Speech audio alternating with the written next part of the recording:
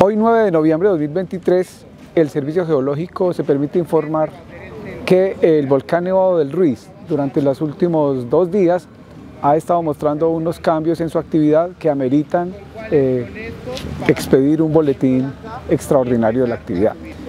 Estos cambios consisten básicamente en dos aspectos importantes. Uno, un aumento importante en la salida de gases magmáticos desde el fondo del cráter, básicamente dióxido de azufre hacia la atmósfera y simultáneamente la presencia de anomalías térmicas en el fondo del cráter, es decir, un aumento en la temperatura en el fondo del cráter.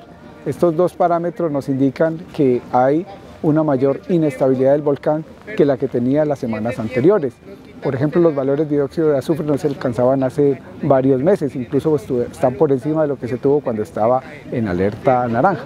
Entonces, por esta razón, emitimos este boletín, informamos a la comunidad que de todos modos, aunque estos cambios eh, se han presentado y son de atención, ponerle mayor atención, el volcán continúa en alerta amarilla, en estado de alerta amarilla. Para que podamos cambiar a una alerta naranja se requiere que estos parámetros se intensifiquen aún más. Por eso es importante mantenerse informados por los canales oficiales a través del Servicio Geológico Colombiano que estaremos informando de manera oportuna cualquier otro cambio que presente el volcán.